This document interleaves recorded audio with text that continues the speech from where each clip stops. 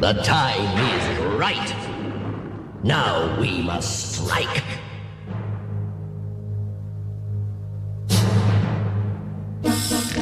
Saddle up. It won't be long.